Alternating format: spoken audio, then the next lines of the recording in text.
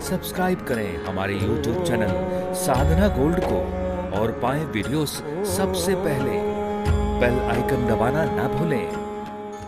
राधे राधे दर्शकों, मैं साक्षी ठाकुर, कैसे हैं आप लोग? महीने में एक बार आती है अमावस्या। एक बार आती है अमावस्या अमावस्या के दिन पे आपने कौन सा एक अचूक उपाय करना है जिससे आपके जीवन की समस्त दुख तकलीफें जो है वो दूर हो जाए?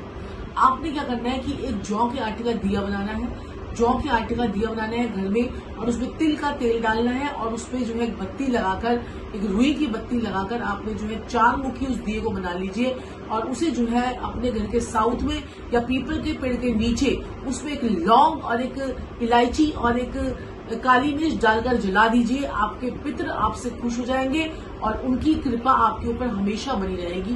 राधे राधे।